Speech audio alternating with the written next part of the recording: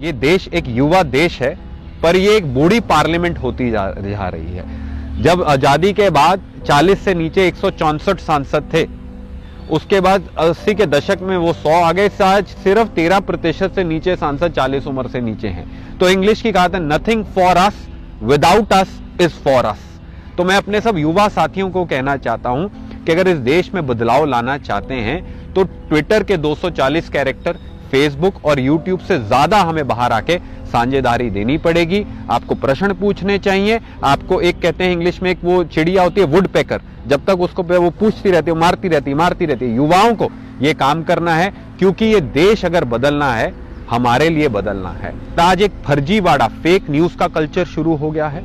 आप प्रोफेशनल्स हैं। आज आपकी राजनीति में सबसे अहम ज़रूरत इसलिए है, क्योंकि आप तोलते हैं, फिर बोलते हैं। आप किसी की बयानबाजी पे नहीं करते, आप रिकॉर्ड चेक करते हैं। कांग्रेस पार्टी 2019 का युद्ध पर पूरी सरफरोशी से लड़ेगी। पर अगर हमें सफल होना है, देश को बचाना है तो आपकी ज़रूरत है। आइए कांग्रेस के साथ। आपका हाथ कांग्रेस के साथ।